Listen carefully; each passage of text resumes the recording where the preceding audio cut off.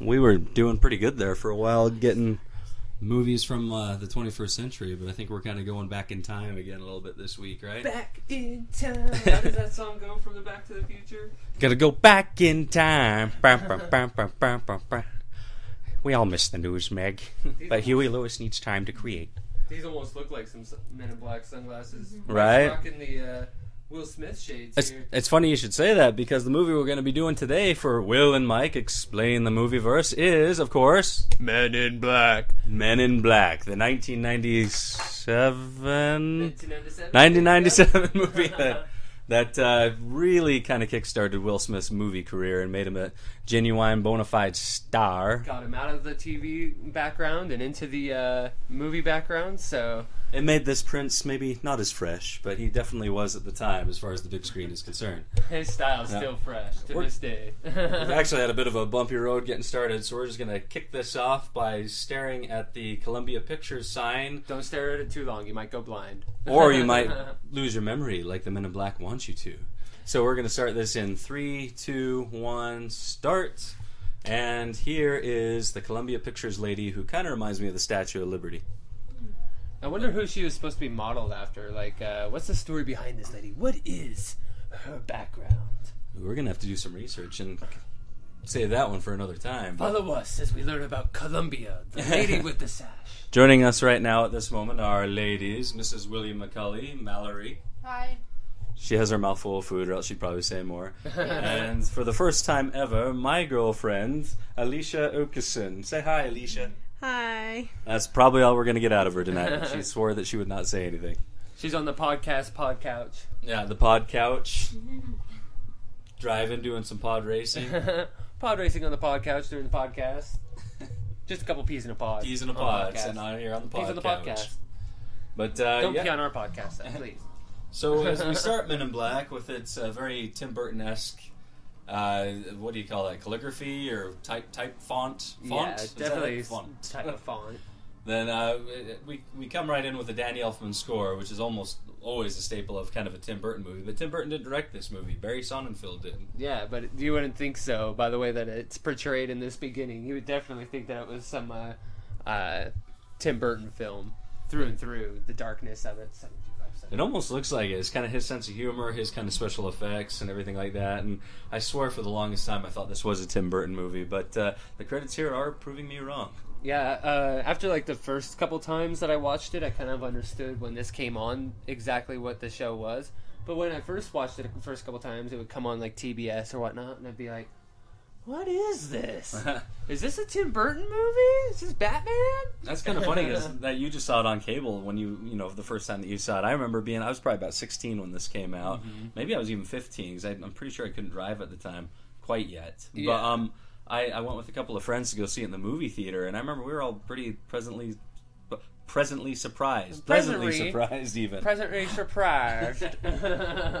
I, I actually- promise I wasn't trying to talk racist. I, the first time I actually saw this was on VHS. Uh, me and my father. Uh, this was back before he was like, "Oh, DVD players, those are no good. I'm just gonna stick to my VHSs. They're gonna do better." than the old VHS? Well, we go to the local Hollywood video, which is kind of like a blockbuster, but a little bit smaller and extinct. So I guess they have some similarities. What's Blockbuster? Blockbuster. Is that like the Tony Stark suit that goes after the Hulk? uh, we actually went and rented this, and he's like, "Oh, it's an alien movie with that guy from that TV show." And me and my dad are always hip on movies. It's all we used to do is watch movies. We get four or five on a weekend, grab a couple Papa Murphy's pizzas, pop the uh, pizzas in the oven, and Ah, you back. twisted your tongue with that tongue twister. That was a quite the to- tongue twister. That's what's like Papa tongue, Papa tongue twister. Ta, ta, ta. And uh, I just remember sitting there watching this, and I'm like, okay, Tommy Lee Jones, this is cool. It's got a little funny to it, and then Will Smith hits, and I'm just like, oh. Where'd you know Tommy Lee Jones from? Because I'm pretty sure the only movie I saw him before this was The Fugitive. Mm.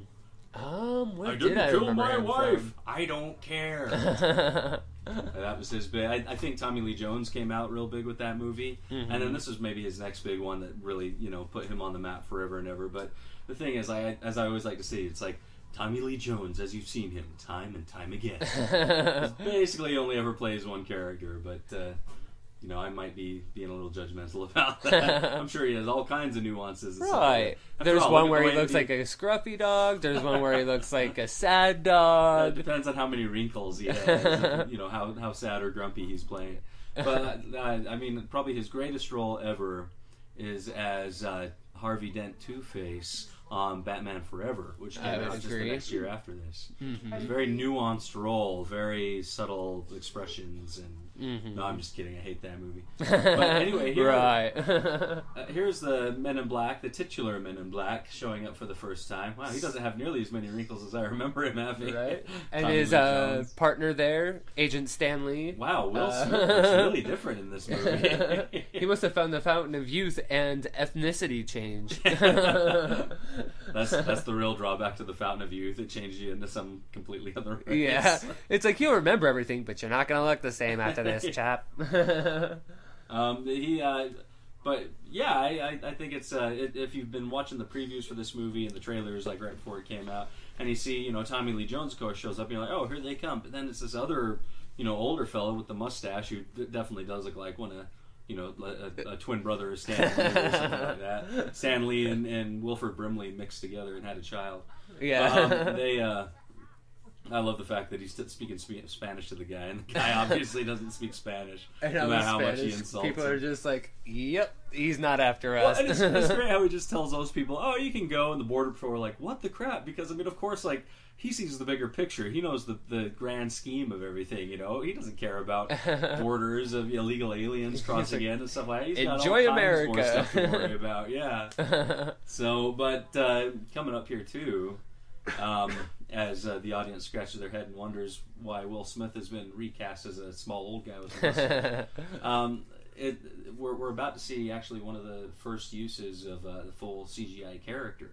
Because up till now, we, we'd had a little bit of that. You know, obviously Jurassic Park had a giant T Rex and stuff like that. But you know, I mean, they, they kind of worked on it here and there. Uh, some of the Alien movie franchise had had uh, kind of limited success with it. But right here is is probably one of the first times you actually had a, a viable, you know, talking humanoid character, even though he's definitely not human. But you know, and, and of course, some of these are spliced in with uh, practical effects too. A guy, yeah, like suit. maybe like the Henson Muppet Shop or you know Yeah. some of those VFX uh, places. exactly, they're kind of like the old Ninja Turtle movies. Yeah. oh, we got to do a podcast on those sometime. The little Excuse rubber me, suit. just broke right in the microphone. But yeah, and, and I- I mean, right right off the bat, right here with this first scene, it sets up just the, the wildness and craziness of this, and and one of the fun things that makes this movie great. Uh, kind of like The Incredibles and a bunch of other movies, is it takes all this amazing, fantastic stuff, but then mixes a little bit of the mundane with it too. So you have like crazy aliens and stuff like that, but really, I mean, it's not that weird. It's just these guys' day job, and you know they, you know they're they're not any different than like traffic cops and stuff like that. Really, I really want to know what they do with their time off because you know they have to sleep or you know have some sort of personal time. well, I think he even mentions in this movie, doesn't he, that they run on like an Octurian clock, which Yeah. is like seven days cycle without any sleep or something, and he's like, yeah, you get used to it after a while. Nothing like some Martian crack that'll keep you up for a couple days. yeah, Don't prob- worry. oh, I'm sure the MIB has the good stuff. Yeah, for right. sure. But yeah, they, they're actually pretty trigger happy because you think about all the aliens that they just kind of, you know, uh, unjudiciously blow the crap out of all the time in this show. Poor Jack Jeebs. we'll get into Jeebs in a little bit. I'd Well, say he's but he at least they know you can blow, you know, part of him up and it grows back. Uh Except for that part, Will Smith threatens to th- shoot that won't grow back. But I was like, I I think uh, Men in Black kind of set up this weird trope that uh, you know when, when crazy superheroic or supernatural things go down, that there's some kind of uh, scrub company that comes through and wipes our memories of it and makes us kind of forget or covers, you know, covers it up. Have you ever read the comic books for these? No, in fact, for the longest time, I had no idea that it was even based on a comic book. Yeah. I uh, kind of looked over the synopsis of it, and uh, the Men in Black weren't the only extraterrestrial life, but they were paranormal Huh. and uh, conspiracies and everything like that. Like they covered the whole area. No, I guess they wanted to sort of narrow it down for the movie to consolidate it a little bit, but that's pretty cool. I didn't realize that they took on Ghostbuster stuff a lot. Right, and then uh, Tommy Lee Jones wouldn't even sign on until they promised him there would be a better script that re- revolved around kind of the actual comic book uh, lifestyle that it had.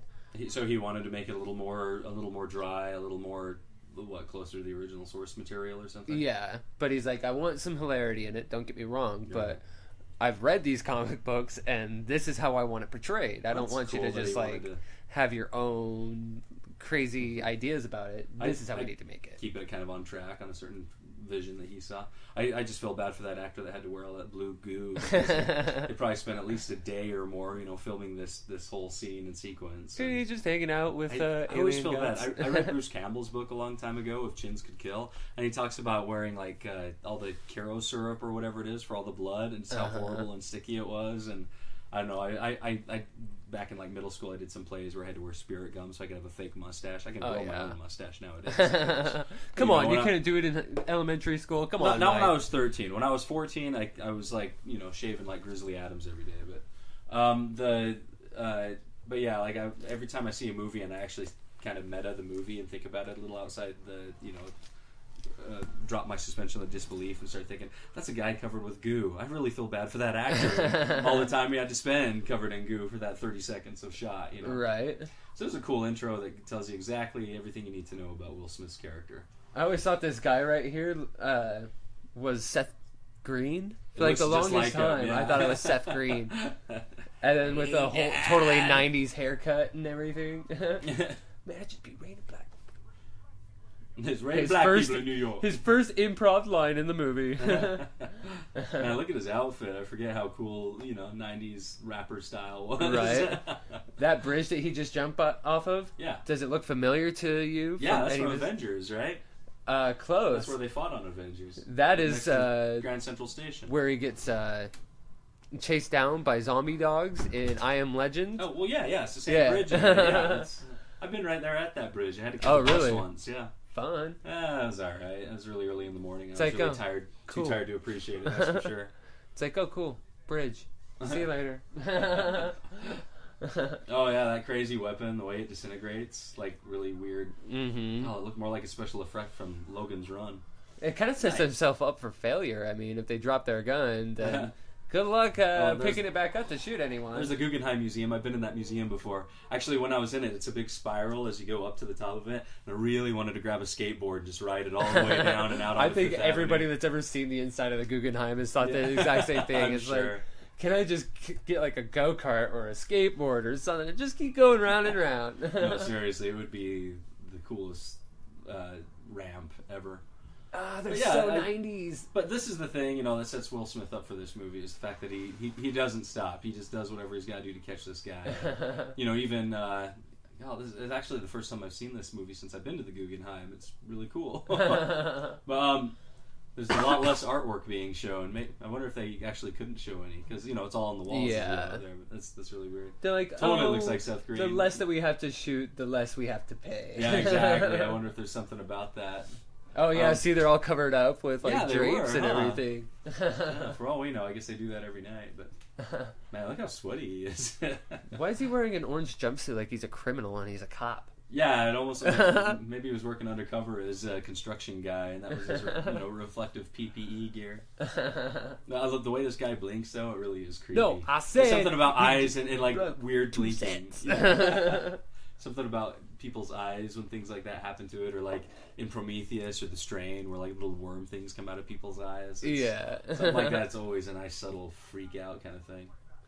Chappie comes out tomorrow. That's a movie by Neil Blomkamp, Yeah, that I can't wait to see. I just call him District Nine guy. It's Yeah. easier to pronounce than Blomkamp.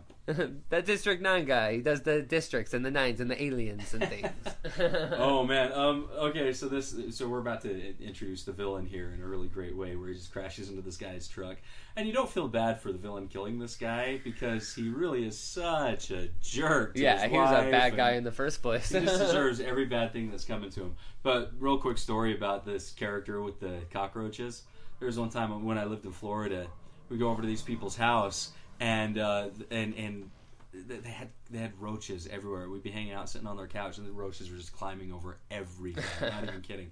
So all the time, like one time, uh, me and my friend left, and he's like, "We got to get home. I got to pee so bad." I'm like, "Why did you just pee there?" And he's like, "Are you kidding? I didn't know it was going to come out. I thought it was like, going to be some giant cockroach like Men in Black show up going sugar and water." I didn't trust that bathroom.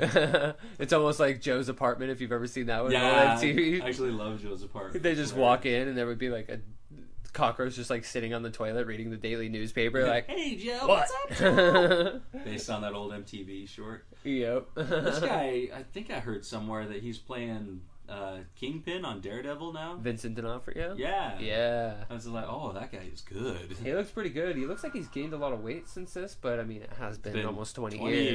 years. So, Been like, a minute. like I say, we were we were sitting there just this last podcast discussing how we wanted to start doing some of the more recent stuff and get into the MCU and everything. We're kind of back to like our favorite old ones from the 80s and 90s. well, I if you're I- gonna do things about like alien takeovers and superheroes and stuff like that, start with one of the originals. You know, like for where sure. the visual effects start taking hold and. uh Dang it, these kids nowadays don't appreciate what started it all. I tell you what. I don't understand. They don't even know what a noisy cricket is. I, I read this great blog where a guy set up a whole blog where um, he had his 11 year old son and a bunch of his friends at a sleepover watch uh, James Cameron Aliens from 1986. And a lot of them were watching like, like, this is like every sci fi ever. This is like the most cliched movie. And another kid goes, dude, this movie was made in 1986. It started all those cliches. it is the OG of the cliches. For reals, right? Sugar in water. What's wrong with your face? And he just grabs. Is that better? yeah, the special effects and gags in this were really good. I, I didn't really. I remember seeing the second one. 'cause- so all of them are spaced so far out because like the first one came out in 1997. The second one I think came out in 2002 or 3 so like five six years later. then it was what like 10 years later that MIB three came out. Yeah. Which I, I, I saw when I was working in the oil fields. I only kind of didn't pay attention. I remember it was it was good, but Yeah. somehow I don't remember the two sequels being as, as breakout and, and special and original as this one was. Heck, I my mean- I mean, favorite this one, one had that- the second one. I, I, I've seen it again since. Like Alicia, we were just watching it the other day at uh, your parents' house. Your brother had it on, remember? Yeah. And like I was watching that with him, and uh, and I, it's it's better than I remember it. But somehow, like I don't know, this this original, this first one is yeah. it's just so much more special. I think it was because it was just like, hey, here's a brand new movie idea. yeah. Take this. well, it somehow comes across to me as like Ghostbusters, where you know it has it has this really weird, you know, uh, uh, shtick to it. yeah. You know, but it also kind of just takes these guys and you know instead of ghosts, this one's more like aliens. But this is just kind of their day job, and they just got to do what they got to do. You know, it's like that Uh-huh. line toward the end where he's like. "But Jay or no Kay, we got to do this because the the fate of the world is at stake and it's going to get blown up. He's like, kid, the world is always about to get blown up. Like this is so normal. He's like, the only way that the world keeps going, the economy doesn't crash, and people keep you know living on this mud ball like they do is because they don't know about it. That's our job. You know, so I think the second one was my favorite, and I can sum up exactly why it was my favorite one in two words.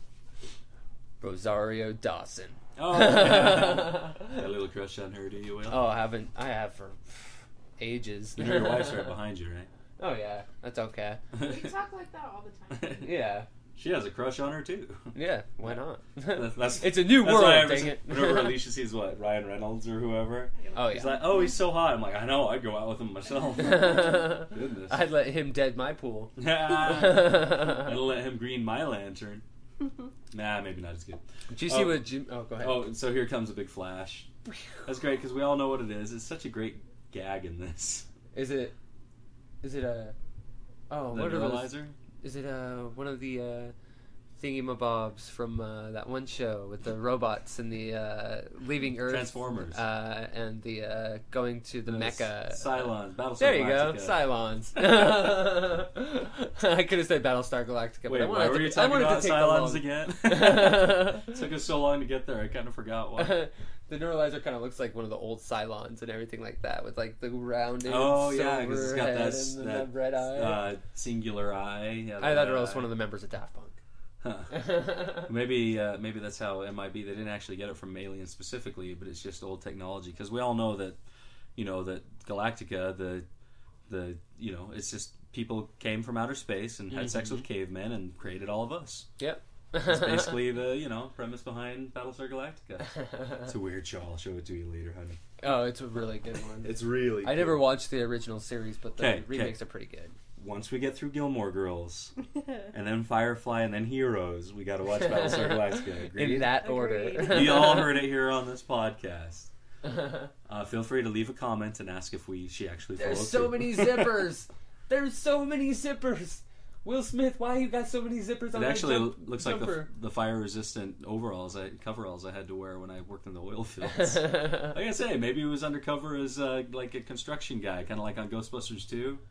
but then he wears the like white jersey underneath it.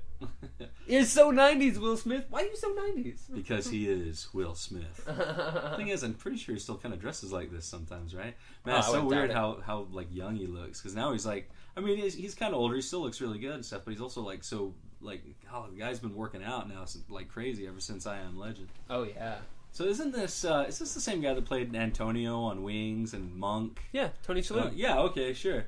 I, it always throws me off because I forget they give him like fake teeth and those those ears and his eye that's always askew. Uh huh. So, but I, for the longest time, I remember as a kid because I, I loved Wings. I kid you not, like freaking uh, what Giggity Goo from Family Guy, Quagmire. Quag, Quagmire. Yeah, he when he's like going, ah, "You idiots! You don't even watch Wings. I love Wings." that was me. I loved Wings and I loved uh, Antonio. You know, from Uh-huh. Shalhoub. And anyway, for the longest time, I thought this was him, but I wasn't sure. and he was in Galaxy Quest. Yeah, uh huh. Yeah, that's the the guy who was always high, the engineer. He's the only one that was like that got transported to the ship, and How- once the liquid stuff went away, it's just like that was cool. Yeah. How was that comic, by the way? Have you been reading that? Oh, I've only made it like halfway through the first uh, issue. I've had other engagements that I've been trying to get through, such as. Transformers. Yeah, I finally uh, gave him more than meets the eye that I was talking about all throughout our Transformers podcast. For reals, everybody out there in podcast land, YouTube, wherever you're listening to this, if you love comic books and you're, you know, you, you're okay with robots, and even if you're not, seriously, go pick up More Than Meets the Eye from IDW by James Roberts. Yeah, usually Alex Milne drawing. I had a hard time with uh, the Transformers comics for the sheer fact that it was metal people or robot people in It's- a robot ship on a robot planet, and everything kind of just looked like a everything, everything is more than meets the eye. yeah. But uh, these ones, it's a little bit, it's a lot better at kind of clarifying what's It's what. It's really good. All the characters the are very. right everything's very character driven. It does a lot with world building and Uh-huh. you know setting up uh, a, lot of people's wants and desires. I think the Transformers is a really weird book because you know so many people are like, oh, they're robots. How do I write robots? But really, you just write them as people who are in robot bodies. So Yeah, exactly. and this guy's figured it out. So James Roberts, I tip my hat to you. I love the uh, whole running gag in that comic, the PFFT. How do you make that sound? Yeah. Seriously, will somebody please tell me how, Because he doesn't have sound? lips, because he has like an Optimus Prime type face. So he's like, I don't know how to make that sound. Uh, but uh, so they, they got Will Smith, so he's kind of recruiting him. Will Smith just saw that guy's head get blown off and then you know grow back. Will Smith's all drunk. Look at all those beer bottles in front of him. Well, I think that's what they're setting him up to think because he just neuralized him. right. He's obviously not going to try to like you know give He's him like, alcohol dude, you're so drunk. Like, It makes you want, but you know, at least he's nice enough to give him a card, and I, I don't know. I think it's kind of cool to see how the Men in Black recruit people and try to figure out how they're serious, you know. yeah. And uh, I, I don't know. I, I think it's funny how uh, how hard it is to be an agent. How many people scrub out? Because like one thing that I remember liking about the second one was when they have uh, Putty from Seinfeld on there. Yeah. The guy that does the voice of Joe on Family Uh-huh. Guy, and uh, The you Tick. know, Brock Sampson. yeah, the Tick. Uh, Pat, Pat, Patrick Warburton. There you go. But he, uh, I, I love the fact that he's been Jay's partner for a long time and been an agent, but he, he doesn't quite measure up. He doesn't quite have what it takes. He keeps screwing up, and it's actually really hard to be a Men in Black agent. You know, they're really special, charismatic guys. Mm-hmm. Uh, and here's where you find out his aversion to killing insects, especially cockroaches. Um, doesn't he take this guy's van or something like that? And that's kind of ironic. Yeah. It's like, oh, giant bug driving around in a bug zapper van. Nobody will ever suspect a thing. It's kind of funny how the guy looks sort of like a bug with the with his gas mask on top of him. Looks like bug eyes and stuff like that, and insect wings on his back. Here comes the only like human death that we see in this entire show. Is it really?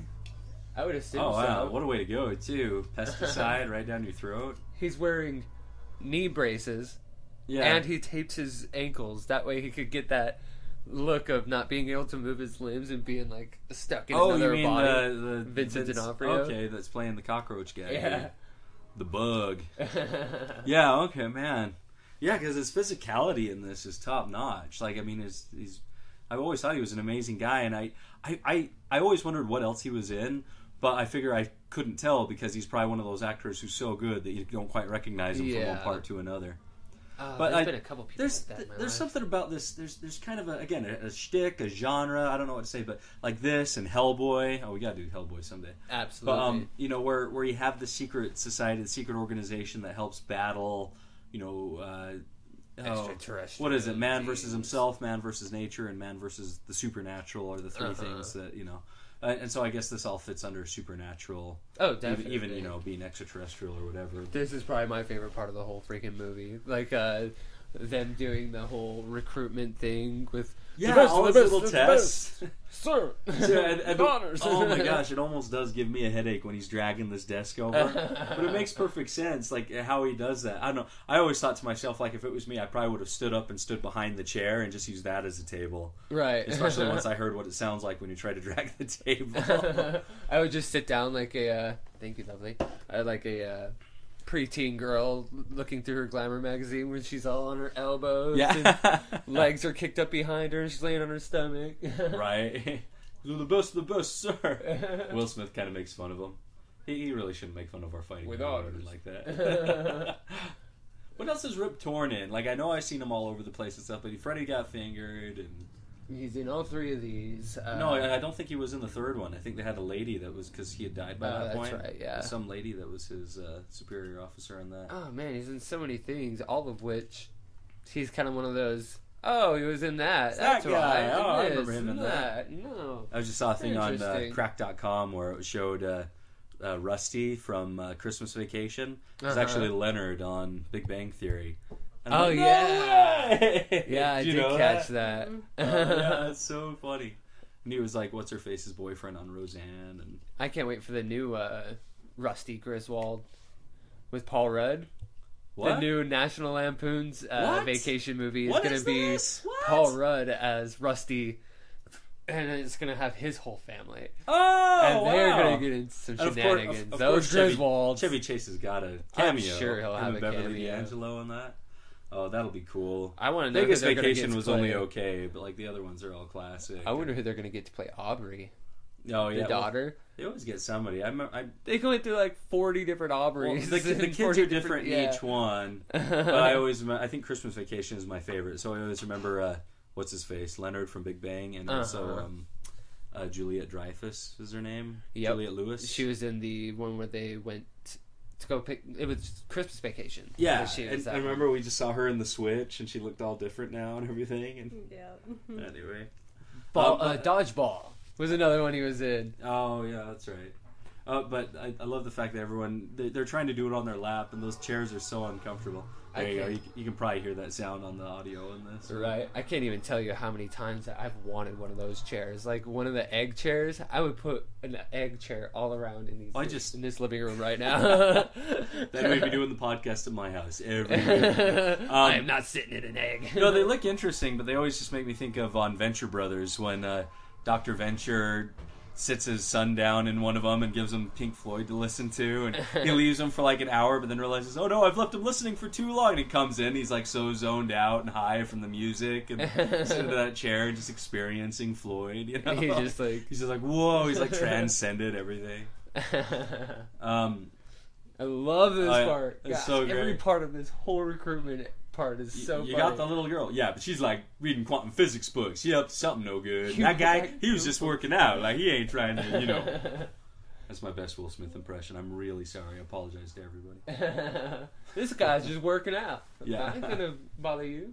This guy's all sad. What was he talking about? Oh yeah, that's right. Oh, like I said, this movie was so much fun. It had so many great gags and stuff, and really fought against a lot of the tropes of what you know sci-fi or alien movies were. And Yeah. It wasn't scary. It was it was just fun, and like the stakes were high, but they weren't. You know, because like I say, yeah, the stakes are the Earth. You know, like you got to save the world, and that's basically every superhero movie out there. But at the same time, it was like it was so. This movie made it so normal. Yeah. This movie made you not worry that much about it, yet you still wanted them to succeed. Mm-hmm. So I, you walk a fine line when you make a movie like this, and this one just It's like, oh, if these two fail, there's a whole agency of agents. Well, yeah, and, and just the fact that you know you realize that uh, they must know what they're doing, so it's going to be okay in the end because they Uh-huh. apparently deal with this on a weekly basis, and you know, and I I know I, I I think it's interesting that with this one, he you know he really is training him as his replacement. You find out at the end, yeah. but then you know the other two they bring him right back anyway. I guess you have to. The dynamic doesn't really work unless you have Will Smith and Tommy Lee Jones, or at least Tommy Lee Jones' character. Because honestly, Josh Brolin did a, a really good Tommy Lee Jones impression. he did for a third wonderful movie. job at it. Yeah, totally. Man, even Rip Torn's goatee looks a little '90s, or at least early 2000s. You know, this movie does look a little better on Blu-ray, but it, it just looks exactly like I remember it. You know, I don't wonder how much this Blu-ray's really been remastered. but- But at least it's in widescreen. Like that was one of the great things I think that came out of the, the turnaround from VHS to DVD was the fact that everyone realized, even when we still had old tube and CRT or whatever televisions, you know, before they were all Mhm. widescreen, people finally started going, you know what, screw the black bars on the top and bottom. We're going to present this in widescreen from now on. Yeah, I can't tell you how many times I had to argue with people about, hey, stop watching the full screen. Stop buying the full screen version. I will not watch a DVD if you buy a full screen Yeah, version. seriously. And I actually I hate at the beginning of like, widescreen. like your Monsters Inc. Inc. DVD, honey. Like ask you if you want, you know, widescreen or full screen, and you're like, who's gonna? Unless you're a kid who doesn't know what they're doing, who's gonna pick full screen? Why even give people. us a choice? yeah, old people, I guess. people above their age of 60. you know, so there's this whole kind of backstory that they get into in this a little bit with uh, how uh, what Kay was just a guy who happened to be on his way to meet a girl with the flowers, Mm-hmm. and what he ran into the whole alien landing and was there when the Men in Black was founded, when the MIB was founded. I probably watched this a dozen times when I was a teenager before I finally actually paid attention and realized that backstory. right? Somehow it kind of skipped over my head, or I don't know. They they plant you a couple clues along the way. I, I didn't quite pay Oh, enough attention to it. Handsome- guess, that but- tall fella flowers. Yeah, that's right. And the, and the fact that it also adds up to whoever the girl is. I didn't quite realize that the girl was just a, a girlfriend that he was courting at the time. I literally thought it was his wife that he just left at some point. And I'm like, right. wow, Kay's like, kind of a jerk. Somehow these weird penis aliens became like a you know uh, a staple of the show. they really did. I mean, they even stole the cartoon away for the most part too. Yeah, they, they- were all over that. Do you remember watching that cartoon? Oh, Did you ever watch of that cartoon, Alicia? No. It was it was really cool. It was on on Mm-hmm. Saturday mornings, and it was you know Jane and Kay going around you know solving mysteries and stuff. And even the girl who's the mortician that we're going to meet here in a little while was one of the main characters, except she was blonde in that instead of Yeah, brunette. Oh my gosh, there's hair. the World Trade Center. That's one thing about watching these old movies Yeah. or like Friends or anything like that. Oh my gosh, Friends! Like every other establishing shot is the World Trade Center up to a point. I Uh, made the most tasteless joke the other day, Uh, or at the freaking podcast, or not podcast, at the, the pub, pub quiz, quiz. Pub quiz podcast. that pub- Shannon Barneson does. Yeah, Geek Show says. I'll tell you about it later. But Okay, it's It not, got a good it's laugh, not for recording on you know yeah, for posterity. we don't we don't need to have that floating around. can't I'd rather wait not to have hear that on my head. If it's really good, I'll tell you all about it later. No, he won't. what Mike does is Mike's business, not mine. what is that little light in there for? I guess it's in case you're performing. Well, our microphone has like this neon light that's shining out of it, and it's always been there, but I've never noticed it before because we're we're trying to hold it in our hands and pass it with e- between each other. So, you know, I'm, we're trying to improve the audio quality on these things. But every now and then, like when you point it at me, it shines right in my face. It's like, Right. ah! Me too. I'm just like I ah. know. I wish there was like a light turn off button thing. I can easily just take like a uh, It was jab it out needle with or a- something and just like pop it real an ice quick. pick or whatever. They no, it's it's ice fine. I just every now and then it catches my eyes. Ah! it looks so cool though. It's kind of like our, The leprechaun. it's kind of like when when if, if you're driving and the person next to you is playing with their phone, their cell phone, and the sun shines right from it right into your eyes as Yep. you're driving. You're like, can you just put your phone away for crying out loud? Yeah, Alicia laughs. She knows exactly what I'm talking about. It happens with my 3DS all the time because it's all shiny and red, and it just Oh, like yeah. catches the light and sends it every which direction. Blinding all your friends and family. That's why I like matte black things because it's like Oh, oh, oh, th- so th- this whole scene of him relaxing by the bay and kind of walking around New York to have a night to think about it. I swear that's like a.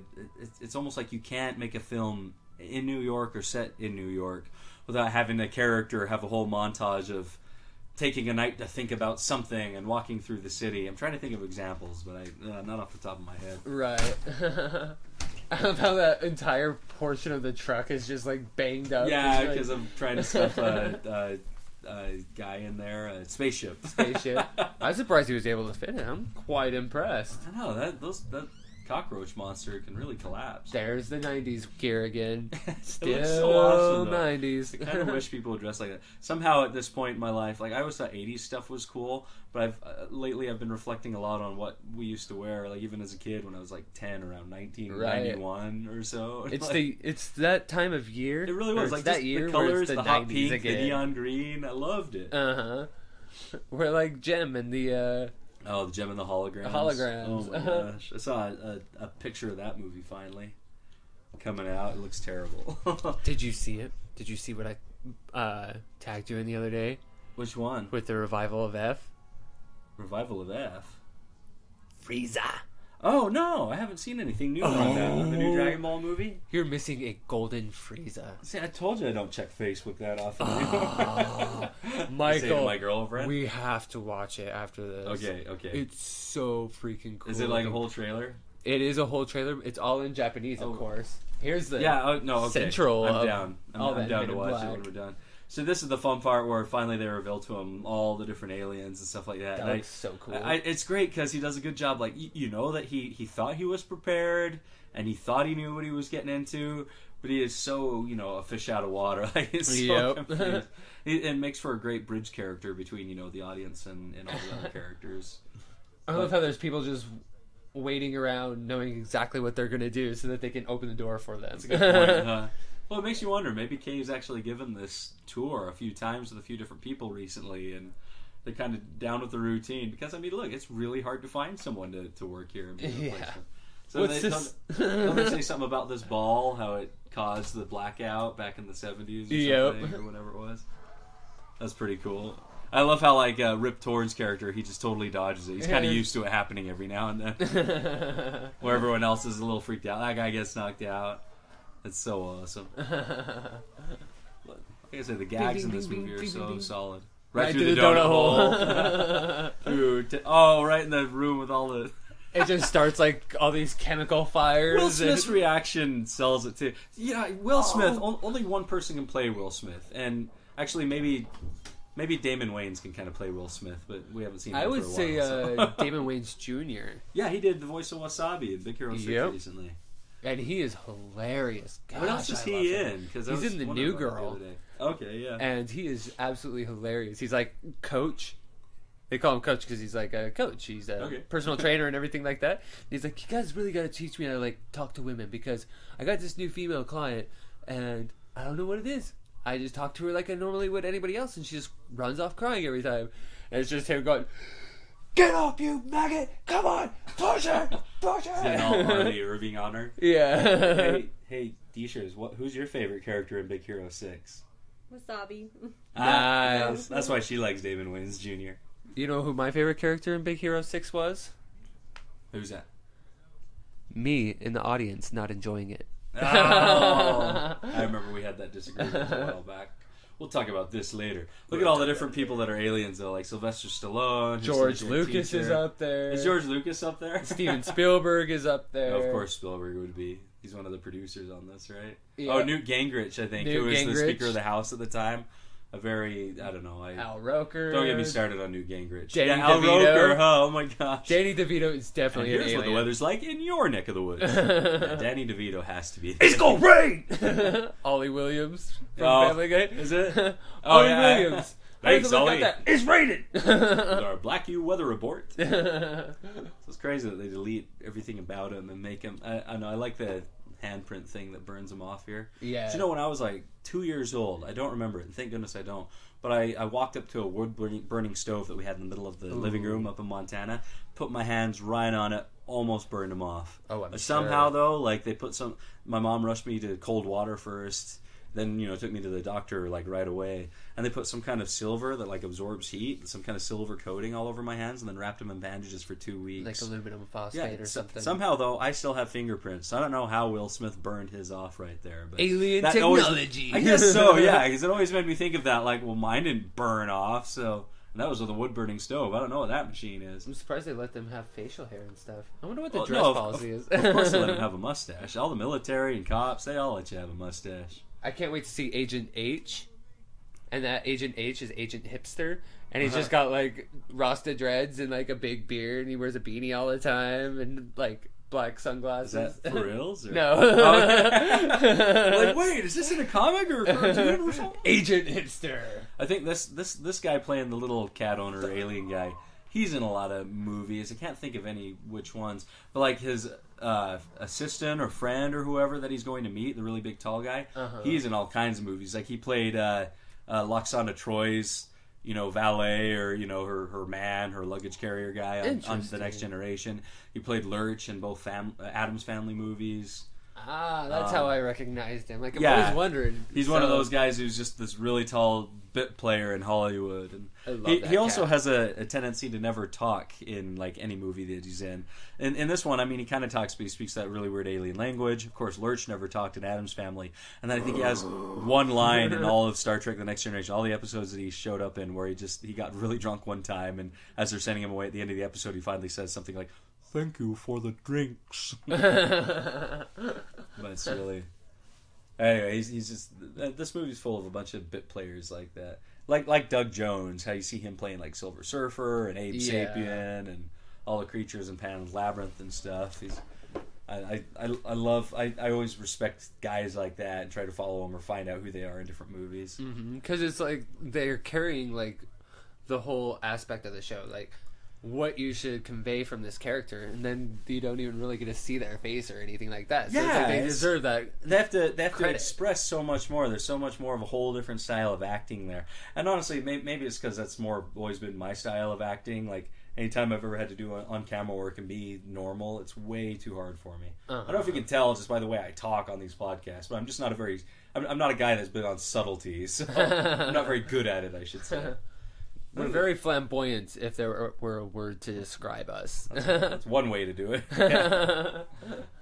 Uh, I like this Ford car because it reminds. I know he makes fun of it, but it literally does remind me of one that my grandma had. so dumb. Right there, they're obviously speeding up the camera, but the Yeah. frames per second. But it's like what was the point of going in reverse except for to show off it's such like an old school film technique, movie technique. But I, I love it. Somehow the movie gets away with it. Probably because it's an old movie now. yeah oh man. That cab looks haggard. I would not get in that cab. Especially if you're just spray painting the numbers on your side. I miss I miss all the old cabs that they used to use, like like Phoebe's grandma had on Friends. Yep. And all this. I remember when I first went to New York City, I was 12 years old, so that would have been like 1992 or 93, and they'd finally just barely switched over to Crown Victorias. Oh, And I, right. yeah, and like I remember seeing well, those are look like all the cabs in the movies I've seen. I was actually really disappointed. How do you like that cat, Will? I love that cat. Are you You're kidding me? cat Orion's enthusiast. adorable. oh, that is Orion. I forgot that's his name. it's on Orion's belt. There's nothing on Orion's belt. Ser- seriously, though, this movie goes a long way. Ha- having been to New York a couple of times, trust me, this movie goes a long way to uh, showing. I, there really are all these weird characters just walking around and hanging out and in in restaurants and stuff like that. and Yeah. doing crazy things on the street, and it's great. Actually, probably one of my my favorite bits on uh, the second one is once Kay gets his memory back and he walks outside. And he, he's looking around. He sees those guys riding a bike that are like in Tron. Looking yeah, weird. with like uh, all the little bobbles on them. Yeah, and he sees like the person person pushing the cart where it has a weird creature underneath all the garbage in the cart, and then like he goes to step on that cockroach, but he doesn't. He thinks about it, and the cockroach says that great line, "Damn decent of you." yeah. Oh, look at that guy! And so there's another human death. it's kind of like what Sharbaka did to that one guy that I had. yeah, we were playing our Star Wars game. How we're like, we can't fit him in the vent. Our game master said, so we're like, okay, we'll just have our Wookiee break his legs and shove him in. there. Break Any all the which bones way in you his can. he allowed it. We got points for creativity on that one. yeah. Yeah, you think they'd recognize him or smell him or something. Ooh, wow. I forgot that he stabs him with weird needle things. right through Ah, the that's creepy, man. I don't mind getting stuck with needles or whatever, but it freaks me out in movies for some reason. What I want to know is why does that kill the alien that's in his face? Oh, spoiler alert! Oh, maybe it took out the life support system in there. Yeah, I guess that could. you know, maybe by design the life support system is kind of in the neck, not too different from how we are. Uh, there's a subtle reference to uh, Hitchhiker's Guide to the Galaxy, like the Oh. book in this, Huh. because uh, uh, one of the when Jay is like, or when Kay tells him, you know, there's like people just living amongst us, like no big deal. Yeah. you can always get it. And uh, Jay goes, so cab drivers. He's like, so the cab drivers are aliens, right? And that's a reference back to like uh, the very first uh, book, Thanks for All the Fish, and it's talking. They're talking about how uh, in the Hitchhiker's Guide it says one of the best ways to adapt to this culture is to become a cab driver. you can learn exactly the terrain of the area. You learn different languages, and it's a great way to make money. Man, that's funny. I, I actually kind of remember that now that you mention it. Although I must say the first book is called Hitchhiker's Guide to the Galaxy. I think So Long and Thanks for All the Fish is number three or four. okay, I'm just clarifying. it was a gnarly I- song, nonetheless. if this is a nerdy podcast, I'm going to get super nerdy on you. Yeah, that song. I, I man, still have my. Hey Alicia, is this guy? Isn't that isn't that Chris? Isn't that Rory's dad on Gilmore Girls? The guy playing the civilian alien guy here. Can't see his face. Oh, when you see his face, let me know. He totally looks like him. I'm just thinking this must be in New Jersey because you got an actual green park, but you can look across and see the skyscrapers in New York. Either that or it's a fake background. But that's great where you got him taking all the beating from these tentacles. Look at those graphics. You can like see Let's the face it. backdrop. when- when- backdrop. whenever women in, are in labor, it's always pretty much like that, right? Am I right? Yeah. I'm getting a nasty look. Mazel I'm sorry. tov. the alien. It's cute, isn't it? Hail Hydra! it totally looks like. See, doesn't that kind of look like Chris from Gilmore Girls? Kinda, but it's not him. Yeah, it's definitely. He's not been him. in a couple things too, and I don't know what. He's another one of those Yeah, it's that, That guy. guy. That guy. Oh, and he gets spit on like that. classic. How I does it taste? I wonder how much of that puppet he's manipulating. Because usually, like, like even in Gremlins, whenever he was holding the Mogwai, he actually had to do the puppet. Yeah. Ugh, first day on the job. That's almost more like my job. It get shot with fluid all the time. Don't ask too many questions. Don't ask questions. Get to the chopper. you don't want to know what I do for a living. I seriously love my job. It pays so well with all the commission that I make. yeah, yeah, you're Love lucky, it. dude. Especially after sweating your balls off all summer working for the city like that. And the sad thing is, I would still turn in this job to go back. I would take a huge pay cut. It's fun working outdoors like that, huh? Like a so desk job has its perks, but at the same time, it's nice being out in the fresh air and stuff. And even if you are cleaning up, you know, the vomit from bums and stuff like that. Yeah. It's like uh, poop, vomit, doesn't matter. I gotta do some landscaping, maybe, find a little maybe you should join the Men in Black because you can probably handle all the kinds of stuff that they deal with. right? That's great. How the, uh, the some of the best leads they find on cases are from like the Inquirer, Yeah. all those like magazines for Elvis is an alien. no, seriously, Elvis is Yeah, an alien. Elvis isn't dead. He just went home. Got that line coming up later. Ooh, I want to drop a quick, uh, uh, quick plug. Uh, if you guys haven't done it already, I would suggest getting Loot Crate. This month is going to be amazing Uh-huh. because it's special or secret agent themed, and they've got a shirt coming. Not to mention they've got a limited edition uh, Loot Crate exclusive Agents of Shield Huh, cool. uh, collectible that's going to be coming along with it. And Is it Terrigen Mist to I make hope you an so. inhuman? I hope it's a Terrigen crystal or something.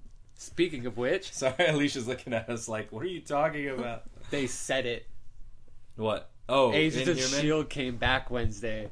Did they say the word inhuman or Terrigen Mist? Uh, they've said both of them. Okay, but they said Inhuman because uh, they're like, your blood pressure was above 300. She's like, that can't be. Or she's like, that. Or But that's inhuman. she's like, that's not normal. He's Oh. like, no, that's inhuman. I was like, dun, "Oh!" dun, dun. Ah, they said the word. It's awesome. I was like freaking out at work, and everybody's like, "You're freaking out over the word inhuman." Will." like, It's- what are you thinking? awesome. You're gonna go all crazy over it, inhuman.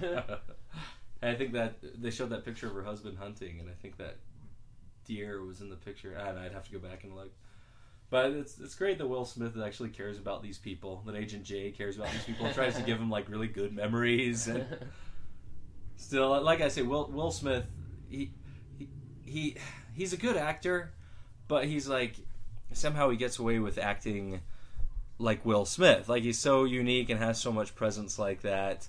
And and for you know, it's either good or bad. You know what I mean? Like it's, Yeah. It, it depends on what he's cast for, but he actually can act. Like he's done a really good job with a lot of really good dramatic roles and stuff. And I think we were talking back on the Matrix one, how he was almost cast as Neo, and thinking about how different of a movie that might have been if it was him instead of Keanu Reeves, because he definitely would have brought a Will Smithness to the part. Mm-hmm.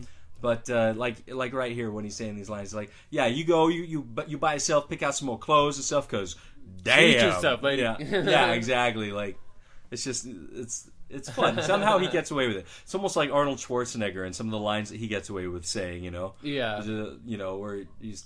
Uh, yeah, yeah, and of course my brain farts on every R. Yeah, you cheese ball. Get to the chopper. You know, I'll be back. Like, you know the way he delivers lines, sort of like See you at the party, Victor. You know. like he, he just gets away with, with those one-liners. You know, I don't want the booster. right? You still have to watch that around the world in 80 or like what he what he throws and oh, so he can see him as the Egyptian guy. Yeah. but like the part where he throws the machete at the guy in Predator and goes, "Stick around," you know. it's just his accent, his presence, the way that he is. Schwarzenegger can just deliver lines like that. That's just like how Will Smith can do that. Oh, and say stuff like "Welcome to Earth." yep, that was one of my favorites. Man, are we gonna do a podcast of that one day? We definitely have to. Independence Day, crap! But I've got so many bad things to It's say. got Jeff Goldenstein. uh, uh, yeah, yeah, you know the, the aliens are actually um, working on a on a, on a on a timer is what this is um, by syncing up the satellites and uh, you know that life finds a way. the one movie where Jeff Goldblum doesn't lose his shirt. Much to the dismay Or of all the ladies in the audience. Leave like the right? chest all hanging out. You know? He is Rachel Berry's dad in Glee, though, so I'll give him props for that. Oh, he's a he's a tall, large, good-looking dude. He is know? good looking for his age. He's got like the silver fox going for him. He's all white hair. I still think the greatest role that he ever had was on The Simpsons as he played Troy's Mc- Troy McClure's agent. Oh, Troy hey, McClure's hey Troy, it's your agent. I have an agent, or whatever. He's like, it's like, have you ever heard of Planet of the Apes, the movie or the planet? A multi-million dollar Broadway musical. so here's our first appearance with this girl, and I, I like the fact that uh, so many people that the MIB are trying to work with or find show up at the morgue that they actually are here all the time. And Will Smith, figure, we keep calling Will Smith instead of Jay, right. but how Jay, sh- you know, when they show up, Jay's like, "Wait, how many times have you neuralized this woman? Like, you give her brain cancer or something?" I love the receptionist for this part. You see him in two the next two movies or these two movies. Yeah, what uh, what actor is he? Oh, I, I know he's in other stuff, but I can't quite picture him in my mind right now. Let's see. Let's uh, just name off a couple things. He was uh, Oh, it's David Cross. yes. Yeah, I remember now. Okay, I was gonna say I he finally was, uh, saw it in my mind. Doctor Funke, sure, anal rapist. right, a now rapist. uh, he was Todd Margaret in the increasingly poor decisions of Todd Margaret. If you haven't watched that, For you know, what I- an awkward movie. as much as I love David Cross, I got to tell you, I am for one, I'm glad that he is actually a never nude. Right? I don't think he's the guy I'd want to see naked. I am a never nude. uh, he also has a big uh, hand into Tenacious D. oh, really? He was one of the people that helped like fund them and get their show on the go Huh. and everything like that when they were had their HBO TV show. So that's, That's, pretty cool, cool, man. Yeah, thank goodness for Him that. and Ben Stiller, they're like the biggest two supporters of Tenacious D. Jack Black's just a little hit and miss, but I yeah, bless bless that guy's heart, man. I love that guy. He is a little hit and miss. I give him so uh, much credit for so many things, except uh, he probably shouldn't have been cast in the holiday. But that being said, I love that guy. yeah, like uh, School of Rock was great. Uh, I, I Tropic Thunder. I don't care. My jelly beans. I, I I, gotta find my jelly beans. oh, he was great in Tropic Thunder. I actually really liked him in King Kong, which I Yeah. know most people didn't. I liked him a lot in King Kong, except for that line delivery at the end. It was beauty that killed the beast. I'm like, is that really the best take they got of that? Other than that, I love him in that movie. I think it's great. But, um, so yeah, I mean, this body that she is dissecting or whatever, it must have like, I guess they're artificial guts, or it makes you wonder if they gutted a human and stuck him inside this robot body, just in case of such an emergency or something. But we have the technology. yeah. Built him faster, stronger, more alive. You feel that? Uh-huh. Looks like she had her Monroe pierced at one time. She has a little dimple like right here, kind of like I Oh. have. I know you can't tell because I was I have a like, is that- mustache, but It's like, is that like having your Fremen pierced? Because I don't think she has one. Will Fremulon. No, it's kind You of can't weird. give a lady a Prince Albert for the last time. I will give her a penis, then I will give her a Prince Albert. Don't tell me doesn't even have a do. penis. I can work around that. I can work up to that. oh, goodness. So, um, This dude's blood on the the blood splatter on the green part is all pink and stuff. It doesn't even like look like blood. you know, it's too bad because I think by the end of this movie, like, she's his partner. She's his new partner. Uh huh. But they allude to in the second one that she didn't make the cut, and that's why he has, you know, he's gone through all these other partners. But it's too bad 'cause she's a great character and kind of a fun foil for him, and you know, it would have been good to see her again in the other ones, especially considering her, you know, her character is in the cartoon. Yeah, definitely. Does it like explain? It's been a while since I've seen the ending of the Men in Black animated series, but does it show like what she went through to have dropped out? I don't know, man. I- I used to watch it, like, the first pure- movie. I used to watch it sporadically on Saturday mornings when I was eating my cereal. So. was I, I don't really like- remember. Was- I watched it around the same time I was watching like the Back to the Future cartoon and you know Muppet Babies and some of those. Yeah. but um, babies was making it same for you. When you know what's kind of weird, wish that you were there. Frank Just Welker. close your eyes and make believe. You can be anywhere. I like adventure. I like romance. I love great jokes. And dance. I like my computer. And I like Berlin. I love great music. And I got a blue nose. Ha! Ah! Nobody remembers the long extended version of that except me. So whenever I've sung it, people just stare at me like, "Are you insane?" Check it out. I'm sure it's on YouTube somewhere. All right, so here he finally finds the little button that uh, opens up the guy's face, and as we all know, most little men with mustaches actually have an alien inside their head controlling them. It's very true. I have one right now. when did you get that implanted, Will? Uh, it Didn't you have to get that uh, to work for the city?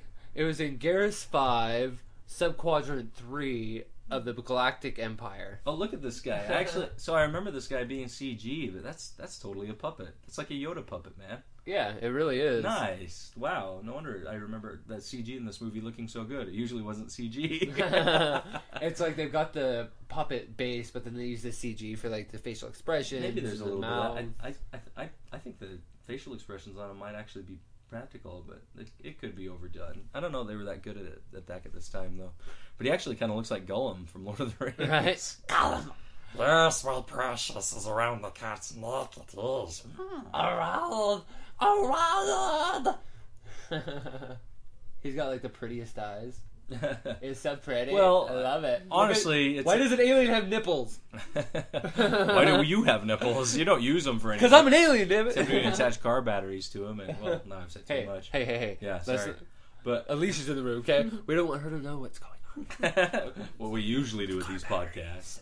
Fifty Shades of Grey thing, the last time you'll talk about Fifty Shades of Grey on this podcast. I told you.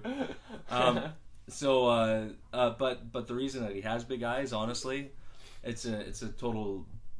He's he's designed that way very much on purpose because it's one of those things where you give a good guy big eyes so that they look trusting and cute and vulnerable and Yeah. stuff like that. So, you know, that's how we know he's one of the good aliens. So you'll you'll notice throughout most of this movie, like good aliens have big eyes, bad aliens have wee little eyes. little evil looking eyes, little triangle eyes.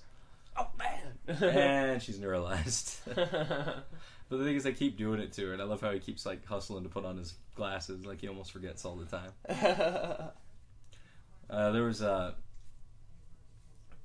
there was a time when uh, I was on my mission, you know, doing Mormon missionary stuff. We realized that we pretty much look like the Men in Black when we wear sunglasses. we figured people are going to be afraid when we show up at their door that we're going to neuralize them too, or that we're looking for an alien or something.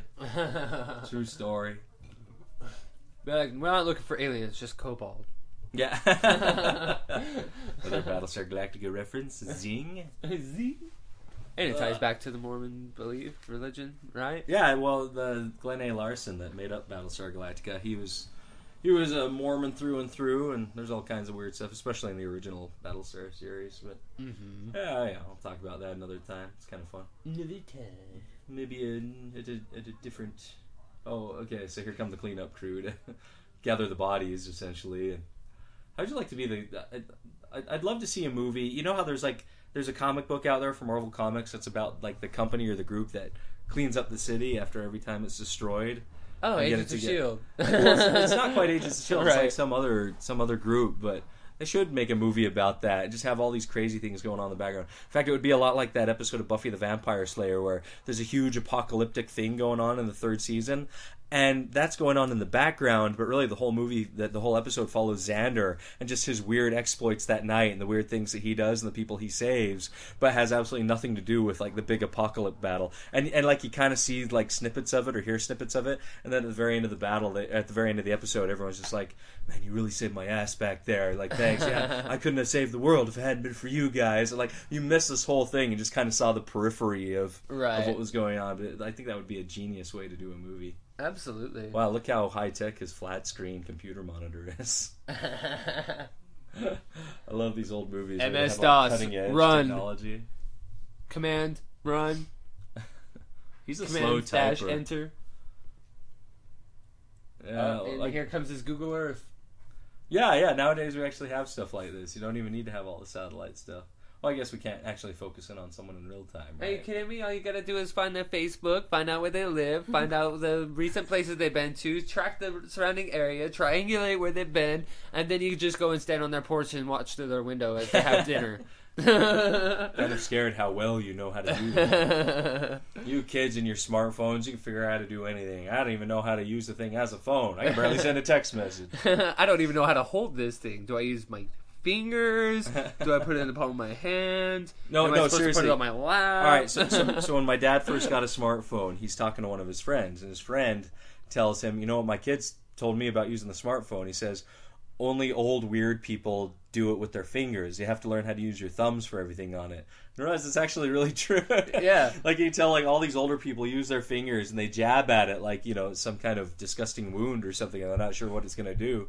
But like you know, like kids, uh, they just sit there, and, you know, their thumbs go a flailing so fast you think they have more than two of them. I'll tell you what, Mallory makes fun of me all the time because if I don't, if I'm like in the winter, if I don't have clothes that have like touchscreen capabilities and all that Yeah. craziness, you know, that you must need in the winter. Oh, I'll just uh, sit my there. laptop that's sitting right here that we're recording this on. I, I, you try to use it as a touchscreen all the time because I forget. But anyway, I will sit there and I'll just like use my nose. So I'll just be like this and like trying to swipe things and like push things with my nose. I never thought about that. That's actually genius, huh?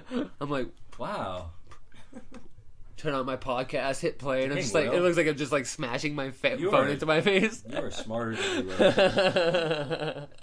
And by the way, I know Mallory makes fun of you, but honestly, I do it too. I just never do it to your face. oh, that's fine.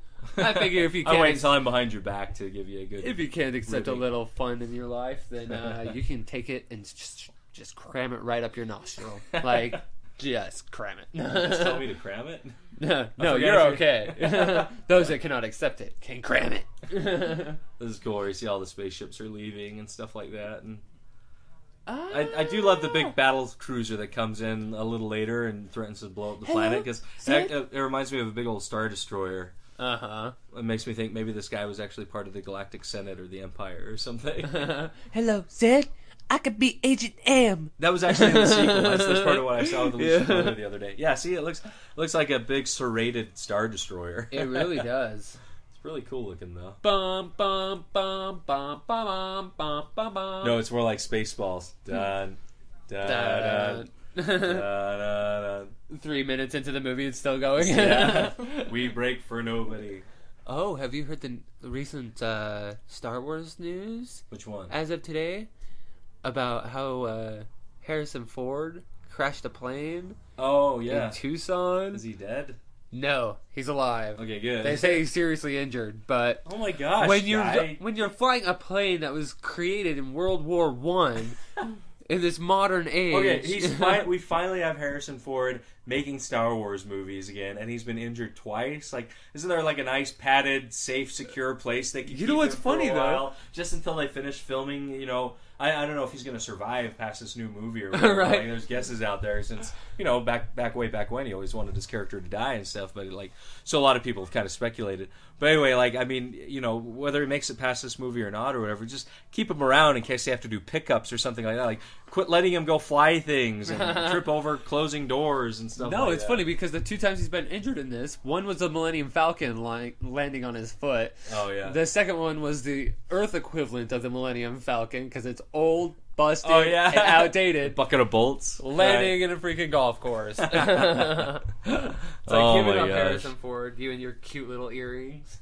Does he have earrings right now? I think he's got earrings in his ears again. Oh, Those Oh, tiny little boy. loops, and one of them's a stud. When did he turn into a crazy person? Studs wear studs. I mean, I still, you know, love and appreciate all the work he's done and all the great memories and joy he's given me, you know, and the roles he's played. But holy crap, dude! What a what a quackpot. I liked him on uh, Bruno. Hi, I'm Bruno. Uh, Sacha Baron Cohen. Yeah, I, well, I never seen. Bru- Like, I know who it is. I It's never pretty seen it, vile, though. but it's like we will have an exclusive interview with Harrison Ford. did he actually show up? He did, and Oh, the boy. the interview was uh, Bruno standing outside of his hotel, like, "All right, here's Harrison Ford." Fuck, fudge off, and he just like pushes right through. Wow. and, And- it's just like that tiny clip, and that was the interview. and it was still greater than his role in Cowboys and Aliens. oh, No, so much better. Oh man. Cowboys and Aliens is a fine movie. My dad loves that movie. He bought it on Blu-ray. It's- I'm like, Dad, nobody bought this on Blu-ray. I mean, they it actually survived to be made onto Blu-ray. I guess. Oh, Like- oh, here's where you get to see the, how how powerful the noisy cricket actually is. His tiny little gun. and his big old booty caught in the freaking glass. Yeah, yeah, the glass windshield. As opposed to the plastic windshield. I don't even know why I said glass windshield. don't make fun of me. You don't give me that look, Alicia. It could have been plexiglass, or maybe it was a Nick Fury. You don't know. It's New York. It's got all kinds of weird, crazy things. Stop laughing at me. Well, you know, those type of ones are made out of what? Sugar? Like uh oh yeah, like for sugar glass? Yeah, I, I remember there was a time my dad was in a play, right? And there's a part where he's supposed to bring in a bottle, and it's made of that sugar glass. And so he's supposed to come in, and then later they get in a bar fight, and, and some lady grabs that, that bottle. It has to be that bottle because it's specially made, right? Right. And she cracks it over this big guy's head to like stop him, right? Well, I, I guess there was a couple of times where he came in and he set the bottle down too hard, so it broke, and he just everyone looks at him and goes, "Well, I guess that was so good, I'll go out and get another." and so he had to come back in with a different bottle, and they just kind of had to stall and improvise for a minute. and then there was one time where the lady just couldn't find the bottle in the middle of the barroom brawl, so she grabbed this big metal pan and smacked the guy in the head with that. And he looked surprised. I mean, it's supposed to knock him out, but I bet he, he was just shocked enough that it, you know it didn't take much acting. Anyway, yeah, there's the serrated star destroyer again. MI8. Kind of looks like my snow scraper. it's like I have one of those in my back seat. I'm sure there's many people on the East Coast right now who are very familiar with snow scrapers. Where is it? What? Uh, the- man, look at oh, the it's the principal from uh Glee. Is it really? Iqbal Thebda Yeah. is his name. I That's Q cool. B A L T H E B D A. Glad to know he went on to bigger and better things than being a postcard salesman with fly swatters. Maybe it's him. It really looks like him. Kind of like how that other guy looked like Chris on Gilmore Girls. From the side Maybe view, it not. looked exactly like him, and I don't know what that's all about. Dude with a button-up T-shirt on the side when they were cool. Hey, I still have some of those. I saw. a I never Marvel wear one them, but I'm smarter than that. But uh, I used to have several Chinese, like all the ones like with the markings on them and the dragons and the kanjis and. yeah, but see, you could get away with that. You were one of the cool kids before Harley and I got you into comic books and crap. I actually wasn't that cool. I just talked a lot. Go figure. Which is perfect for a podcast. That's, that's why I chose you out of everyone else to come do this. Agent F, one of my favorites. oh yeah, the the dog, a little dog. Yeah, it's great. This this is I, I I wonder if this predates Babe when they had animals and they'd sit there and move ah, Bob, computer rap animate you. their, their mouths and stuff. Yeah. he just starts shaking him, the poor dog. Because you know they had to shake like a real dog. Maybe it was a puppet. I hope it was a puppet. That You- poor you'd thing. think so, yeah. Poor little guy. It's funny that special effects look kind of bad by today's standards, but it's still pretty passable. Oh yeah. Somehow you can get away with it a lot better with a human doing this kind of thing than you could like I sorry with an animal and this kind of thing than you could with a human. Like in Forrest Gump, if you've seen that recently, how weird it looks with the mouth flaps they gave JFK and any of the presidents. yeah. like it's it's pretty goofy looking. And then it's like all grainy in the TV and everything, and you see like Tom Hanks pop around the corner, and it's all nice slightly and clear. less grainy. Yeah, it's like not quite. Somehow it doesn't quite do it. Oh man. Especially with high def stuff. Like that's the thing with the old special effects. Like you get away with it on those old tube televisions, but now with Blu-ray and HD and everything like that, like we were watching the Ten Commandments a couple weeks ago with Charlton Heston. That's like 1956, right? And anytime they were on a blue screen, you bet they had the biggest, bluest outline all over, man. You couldn't notice it better on, you know. And you got like this really nice LG, you know, top of the line television that we were watching it on, and it really did nothing to help the special effects. Mallory hates watching a lot of things in high def because she's like, ew. I I, actually- can see like every pore on their face. This is disgusting. Yeah, like I, I actually do kind of miss just kind of the old the, the old griminess and like you know on a VCR where you'd have that weird tracking problem come up or like Yeah. you got to a part on the tape that it was like kind of crinkled at one point so it like kind of jumped a little bit Awful noise. That the little crackle yeah. as it's going to pass that. I part. miss Uh, that I, I think that's why I liked in 2007 Robert Rodriguez and Tarantino came out with that grindhouse stuff Uh-huh. and I love watching those movies just because they look so much like those old school things where the the film would kind of go bad in some Uh-huh. places and That's why I'm really liking this Fresh Off the Boat TV show that they have on ABC. I haven't seen it. Oh, it's so good. So it's set in the I always 90s. feel bad in the middle of our podcast. You'll talk about some cool new show that's out, and I always have to respond. I've never seen it. That's all right. I fell behind. I'll go off on my stuff a long tangent. time ago. well, it follows an Asian family that uh, moved from Washington D.C. from Chinatown in Washington D.C. to Florida, so that the dad can open up a steakhouse that's Western themed. He calls it Cattleman's Ranch. I can't imagine this is racist in any way, shape, or form. It's so funny. It's uh, it's centered around the child. The child's like the star of it. yeah. But the mom, she steals the show. Like after like the first two episodes, she is so freaking funny. And uh, they're talking about Biggie. They talked about Shaq Fu. oh yeah, the old video game. Uh huh. oh they're my like- gosh. Yeah, I guess he can manipulate wind. Just tell me, it wasn't good, was it? No. sounds fun. it's Sounds like really good. Look how uh, look how young David Cross looks now in this. Yo, It actually has a lot more hair than I've probably ever seen him. nice freaking earring. He's really kind of '90s, almost like kind of grunge scene, you know, pseudo grunge scene. Oh yeah. Love you, David Cross. You really have to watch like the increasingly poor decisions of Todd Margaret.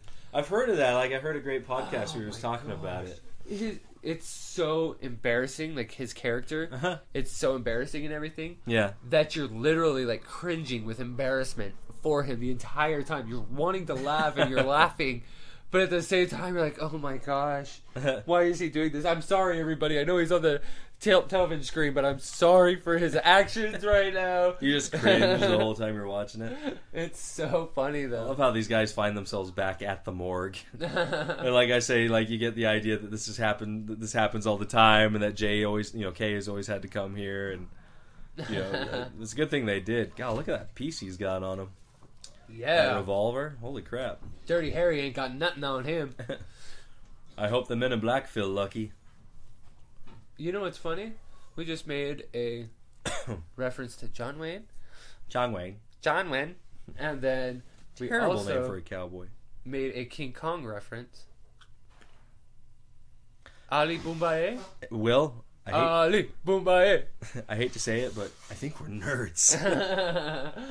I was just thinking, uh, King Kong ain't got on me when he played Ali. I'm a, I'm a bad man.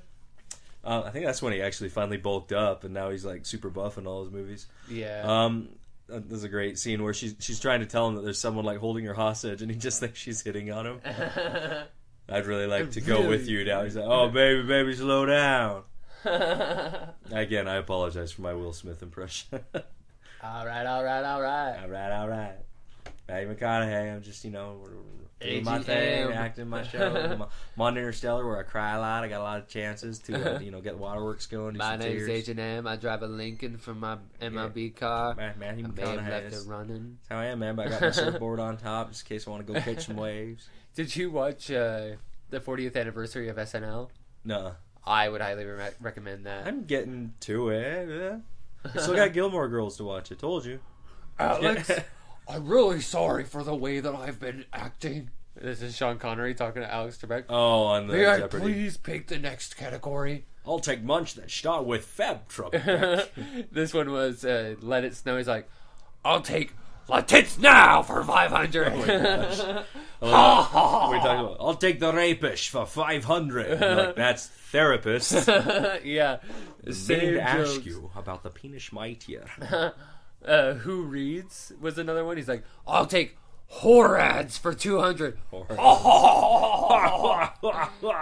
And then Jim Carrey comes on as Matthew McConaughey. oh, really nice. Uh, Burt Reynolds, done by Norm Macdonald, comes on. yeah, and- Turd Ferguson. That's not my name. Turd Ferguson. Turd Ferguson, would you like to choose the next category? he actually makes him call him Turd Ferguson. I love it. There was uh, so funny. my my uh, my buddy, he, one of his nephews. He would always call him Turd Ferguson because he was such a twit. But oh, look at him jump, man! He's got like Marvel versus Capcom jumping there. yeah. Um, this is probably, I guess, this is the end of Act Two, beginning of Act Three for this movie. Yeah. Because you know, like the the stakes are there, the lines are drawn, we know who the bad guy is, and now we just have to stop him. At So, this you know. point is about where I usually tune out. It's all good and everything, but once they get to like the spaceships and they start Yeah, actually the movie handling starts getting business, almost too serious in some ways. But yeah, I, I, I, I don't know if, if you guys know. Yeah, that was really creepy. yeah, Actually, wonder how they did that shot. But I, uh, do you guys know? Like, so I guess they, they had a World's Fair there, and that's where they're headed to. Is where those flying saucers are. Is that real? Does anybody know if those are there? Or does I think they IMDb are. trivia say anything about it? Or I didn't see. I wasn't really looking though. Ah. Oh, she put on my I love how they know that that he got into a cab because the beads are on the ground. so they That's threw the racist. beads out and everything. It totally is, but is it still racist if it's Will Smith saying it? I think he can get Yeah. away with just about any of that. Typical. Wait, New is that York. racist? What I just said? I didn't mean it. Uh, what is racist? Please don't kill me. Everybody's just a little bit racist. Have you ever seen that show or heard that play? Mm-mm. Where they, they have the Muppets. It's like a really adult Sesame Street. The internet is really, really great for porn. it goes real fast so I don't have to wait for porn. Grab your dick and double click for porn. Porn, Oh. porn. what uh, brought up the whole uh, off this fresh off the boat thing is Yeah. when we were talking about uh, waiting for certain things to happen back in the day because of technology. Oh, yeah. He's like, I brought my internet computer to over, and you just hear he just hits the connect button, and you just hear. oh my gosh. Like I hate that sound. Ba-dum, get off the phone, get off the internet. Sorry, Dad. That's what I heard the all phone. the time. That's funny. Sorry, I'm illegally downloading music like usual. No, seriously, I, I, would, I would look up uh, like Macross and Dragon Ball Z stuff and everything like that, you know, and, and like you, you could let a page load up and go grab yourself a sandwich and come back, and by the time you were back, it would have just finished putting the finishing touches on the resolution. See, mine how it was, was, man. totally different. Since I lived out in the boonies in Corinne, oh yeah, it would be I was like just through there today myself. Actually, I would hit download a song. On the way you to know, that toilet paper. one factory. song. One song is nothing these days. It's like 20 seconds and the song is downloaded. right? Back then, it used to take me about an hour and a half to download a song. my my friend, It no, was horrible. and that's just one song, right? Yeah. No, my, my my one friend, he's like my computer buddy, and he's like way into every like he knows everything. He's been working in the field now forever, but like way back even before he got DSL, you know, like right when that came out, and he he got the first high speed internet connection I ever got the chance to play on. Um, he was getting from a guy in Canada that the the. Uh, Unreleased Evangelion movies that came out at the time. Now the way he had to watch it was he had to download it in these packets where he'd be able to watch about ten minutes at a time. It would take him a couple of days for each packet. So he'd watch ten minutes and then something would happen. He'd be like, "No, that can't be the ending." what a terrible way to watch a movie. Right? Because there's Especially already one that you've been waiting to see forever. You know. It's like, oh, here's one cliffhanger, but now you're getting 10 more because you're downloading each packet individually. So it's like, no, seriously. cliffhanger, cliffhanger, cliffhanger, cliffhanger. Oh, here we get to see their their cool car and what it can actually do. This is a cool sequence. what song does he play? It's Elvis Presley, right? It, it is an Elvis song, but uh, here's the Lincoln Tunnel. Yeah, it'll tell us what I've song been in that is. tunnel. Hey, that Um, looks pretty good. Yeah, and then they hit this traffic right here. Now, this special effect, if I remember right, looks really bad CG. Yeah. But, you know, like, still looks better than anything in Michael Bay Optimus Prime? Just kidding. Ah! it's a Transformer. And you know what's funny about this car? I'll tell you about it. Um, when he says, "Oh, I gotta drive a Ford POS," I didn't realize what POS stood for. I thought it was literally a Ford car that came out way back when or something. it wasn't until like way later that somebody told me what POS meant. If we're th- talking about flashbacks as the VHSs, this is a flashback to even before that. Oh, with It's the eight track, with all the technology in that car. he Oh, still there's has their the flux eight-track. capacitor. You know, gonna go back in time. Okay, huh? Oh, I thought you were pointing out Will Smith's sexy ankle. No, I was just talking about his. Oh, for Silas. um, yeah, it's a cool car, man. I can't tell you how many times I wish I had something that could do this. right. It's kind of hard to believe there's only like 10 minutes left of this movie. Like, I remember Is watching this as a kid, and I'm like, this is like two and a half hours long, three hours. This movie's awesome. Dang, we're only getting to about an hour and twenty minutes on time right here. and, uh, yeah, I told you it was less than two hours, honey. yeah. But um, This one's actually. I, like, I love how he actually still pays the toll. Makes it right in there. What a great citizen. Good job. It wasn't until I went to the. East Coast and like we were driving on all the toll roads that I realized why here they call it a freeway because Yeah, there's no tolls. that makes sense. I've never Thank actually goodness for freeways. that either. I'll pay a little bit more gas tax just so I don't ever have to go through the trouble of having change for a toll. it was expensive in uh, Wisconsin, Wisconsin because Yeah. they came and picked us up in Chicago because of our flight delay. right? and the toll roads all the way back to Wisconsin, probably because the Bears hate the Packers, is like two dollars here, four dollars here, Yeah, five fifty here. It's No, like, it seriously is. When I was returning my rental car to the airport, I almost didn't have a change for it. Like I remember having to dig through my backpack trying to find it just so I could get in through the toll right? without like getting you know caught or something. It's Look how cool these guns are. He's like, that's what I'm talking My- about. when I was a kid, I'd hang out with my friend David Bisson. If you're listening to this, give me a call sometime. Let me know what happened to you, David. But um, we miss you, David. this gu- th- that gun that the that Jay is holding right there. He had, he had like a Return of the Jedi gun that was all big like that. It was a big gray toy, you know. But it was actually I think it was some kind of carrying case because you could actually undo a clip and pop it halfway open, like it would split down the middle. You could pop it open. I think you could carry figures in it, kind of like Chewie's bandolier, or Ah, that, that Darth. Vader head or something. But yeah, it was specifically said Return of the Jedi on it. But when he and I would like play aliens, like we were pretending to fight them or whatever, like I, that was always the gun, the toy that I would have for my gun. it looked just like the one that Jay has in this movie. Man, I feel bad. Like it it makes me think of all the sap and all the pine needles poking her right now while she's stuck in that tree. Right? and I just I hate sticky things. So Oh, I, I so don't, sticky. I don't blame you Um, one bit. I get sap on me. That's the end of it. Like, Right. no. Man, can you imagine the neuralizer they're gonna have to use on that baseball stadium? I mean, I know in the second one they have that one on the Statue of Liberty. yeah, still, that it was just hits him on the head and knocks him out. It's a great gag, He's neuralized himself. right? I'm gonna neuralize my damn self. There was a weird thing in the '90s, especially the late '90s, where any cool technology or superhero kind of utility had to be shiny like that. Shiny and it had to have some sort of goo and a light. yeah, yes, yeah, absolutely. In, in Mystery Men, they all had really shiny armor, especially again, Batman and Robin, Batman Forever, like all these weird late Uh-huh. '90s things that somehow was cool at the time. I don't understand how, but I love how they just chill there, like, well, I feel like that We're shot's good. been parodied in like so many movies, like even in 300, where the guy like throws the spear at the rhino or whatever, and it like stops right at his feet. yeah. But it is great how Jay's looking at Kay It's to like, see uh, if they should. Are we gonna move? Like, are you okay? I, I, that's part of why this movie works so well. It's just their dynamic. you it know? really does. It, it's it makes it really fun. I love any. Okay, this is gonna sound totally bad, but where they like have a duo of characters that are from different backgrounds, like different race or age or anything like that. Yeah, Let's go. Uh. Shanghai Noon. Yeah, Uh, of course, I'm gonna go back to another Jackie Chan one and do Rush Hour. Uh, we're picking on Jackie Chan. See no evil, hear no evil. That was uh, Richard Pryor and Oh, Eddie uh, Murphy.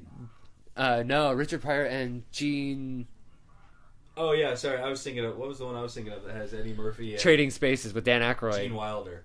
Gene Wilder was the one, yeah, with uh, No, no, Gene Wilder. Like they they, they can see in each other's eyes or something or crap. Never mind. I, someone out there knows what I'm talking Hear No about. Evil, uh, Speak No Evil was Gene Wilder and Richard Pryor were one was Uh, deaf and yes. one was Oh, blind. Yeah, that is what I'm thinking of. Yes, okay, yeah, yeah, yeah. Uh, but uh, what was the one you? Oh, you were talking the Trading Places with Yeah. uh, Eddie Murphy and uh, Dan Aykroyd. That one I absolutely love. And they don't interact until the very end, but it's like the dynamic of the characters and the things that they go through just makes a movie that much better. Yeah, yeah, for sure. Oh man, Yeah, it does help. It's nice to have that kind of thing. Wrinkles. It's it's and it's hard to find that kind of chemistry too. I think just with any actors, you know. But I, I think when you have that kind of diversity, that like automatically helps. Uh It should be a lesson for us all. Dang it! huh. Be more diverse. It really is. Love I- one another. This guy really is a cool, threatening last villain. And Yeah. like, I know they're using some practical effects here, but still, like the you know, the CGI is is looking really good for a Eat me. creature like this. Eat me. Yeah. It's creepy. Look how big he is. Like He's huge. He's uh, almost Now you as wa- big and at least as scary as like the Queen Alien on Aliens. And now we know why he walked around so crazy, because fitting something Trying- about yeah. five times as big as us into our bodies. Well, he- he's a cool alien, and he's both threatening and funny, and like, you know, He's lucky that he didn't chew, though. I think he's a lot more. Yeah, seriously. well, you know, most bugs eat like a duck, I guess. That's what I look like when I wake up and I'm trying to like get through my blankets and the sheets and everything. I'm just like, ah, where does this end and begin? I, I told you, if you just get rid of that giant cockroach in your house, you wouldn't have to worry about I know, but he likes to cuddle and he's nice and warm in there. he keeps me safe and sound. and that his goo on his body is so good for your skin. Yeah, but uh, ew, yeah, that fire's fake. coming out of his mouth. Do you think so? I don't know. It was just kind of funny Oh, because of the way that it looked. Maybe you saw something weird in it.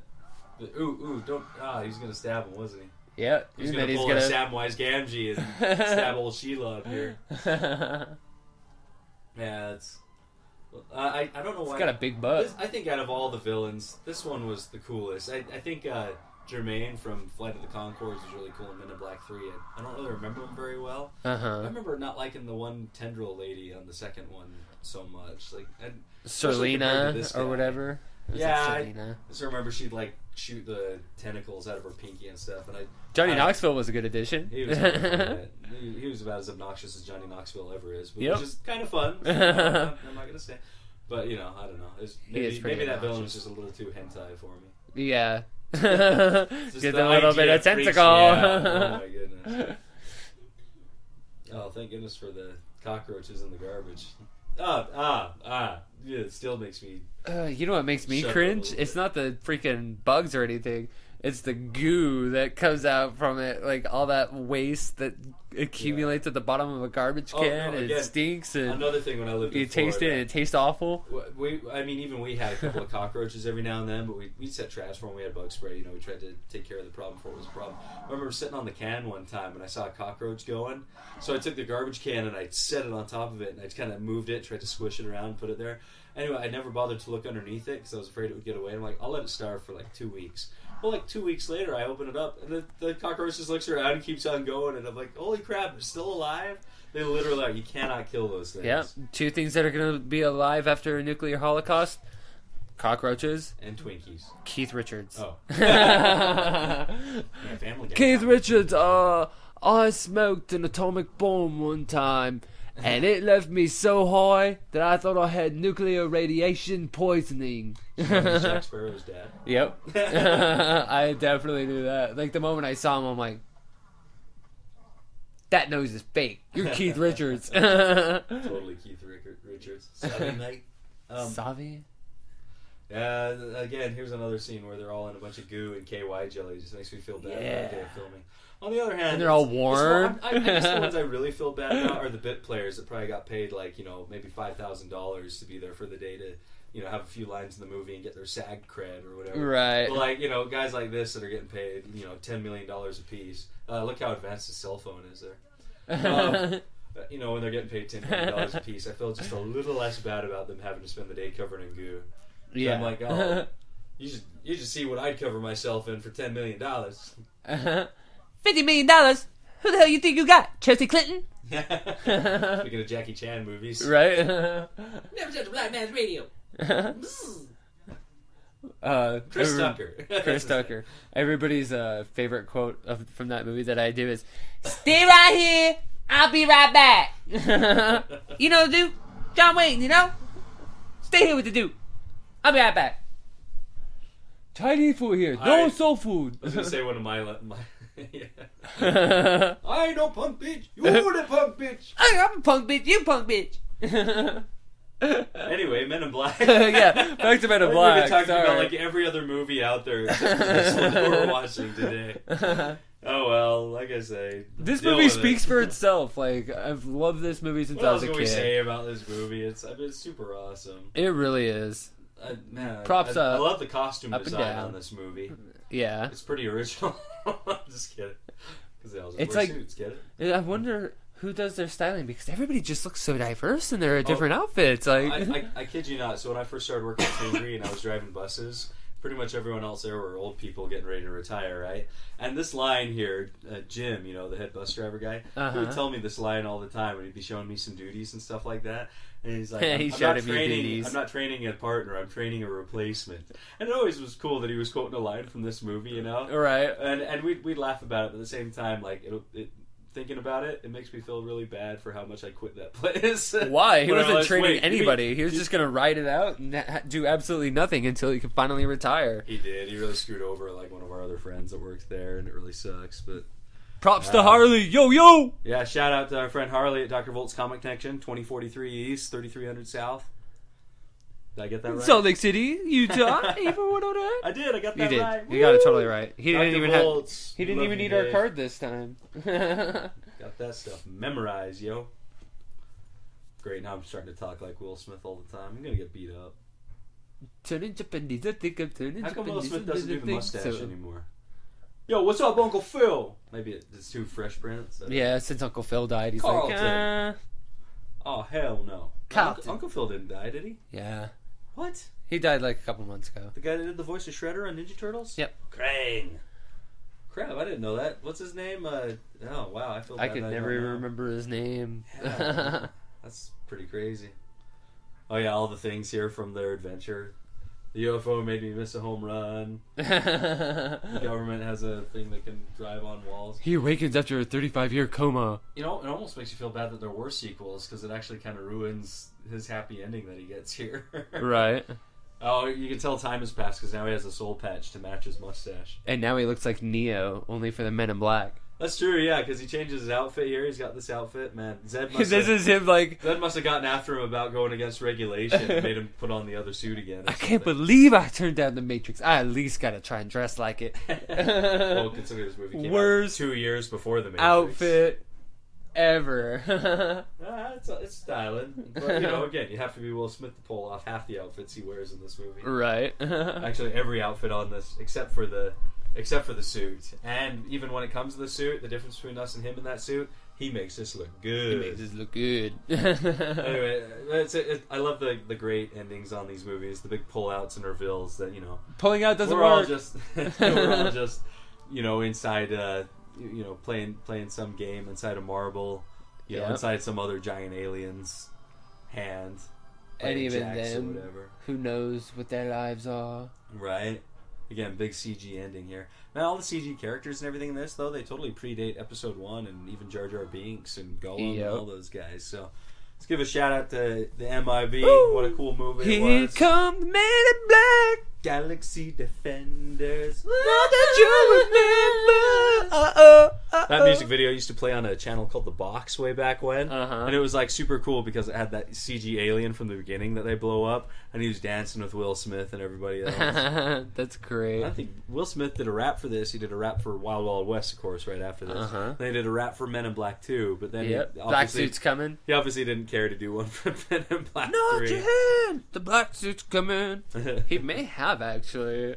well, I've already I don't know. Dr. Volt's Comic Connection. Anything you want to talk about? Uh, I want to plug uh, First Compassionate Eatery. Uh, thir- uh, Somewhere on uh, 13. 145 East, 1300 South, Suite 201 in the heart of Salt Lake City, Utah. Go ahead and check them out. They're a great compassionate vegan eatery establishment. And uh, Lee George Cage, Cage, Cage, Cage. is Is he the the, brother uh, of Johnny Cage? Johnny Cage's Oh my brother. Nicholas OMG. Cage's cousin, uh, Lee George Cage, probably one of the top geeks ever, except for Egg Foo. He like won the entire geek sh- or the pub quiz by himself. Dang. Um, That's why I don't uh, go to that because it's right. No, Go check him out. It's a great, delicious, full-bodied food, and it's absolutely phenomenal. Uh, check your mental health. As I say in every podcast, uh, if you see somebody suffering from depression, it's not something to make fun of them about. It's something that you need to talk with them about and get those out of the way so that everybody can live a serene life in any way possible. Yeah. Uh, I wanted to plug MatthewArt.com because that's my brother's website. He made our logo that you've probably been staring at if you're watching this on our YouTube channel. And uh, he's an amazing artist, a gifted guy, talented, wonderful. Uh, check out his children's pretty cute, books, his art. His wife would certainly say so. I'll let him know that you say that too. Ooh. But uh, oh my. but uh, yeah, he's uh, please check out MatthewArt.com and give him a shout out. Um, but uh, uh, oh, I my my sister has a really cool blog. She does a lot of cool photography, and I always want to plug that. And I'm embarrassed to say I can't think of it off the top of my head. But next podcast though, name's Katie Armstrong. Maybe a Google search will pull it up. Definitely. If you're looking for a magician for your local party or balloon expert, uh, check out Lefty Caress, C A R E S S, Lefty Caress. Uh, he's a great magician local to Utah, Salt Lake City downtown. And my cousin Celeste McCulley, she's a balloon expert and make, can make you whatever you want. I had a balloon lady make me the Starship Enterprise once. It was like one of the coolest things ever. I was really sad when it deflated. Oh, I'm sure. Anything you want to plug, Dishers? Do you want to say bye? Bye. Did you have a good time? yes. You should join us more often. Join us in celebrating movies. Take us out, Mike. All right, this has been Will and Mike explain the movieverse, and join us next time when we'll be watching oh probably something around two hours long and maybe made before the year 2000. So, May you all have a great night. and may the Schwartz be, with you. Be with you. Adorable. Oh,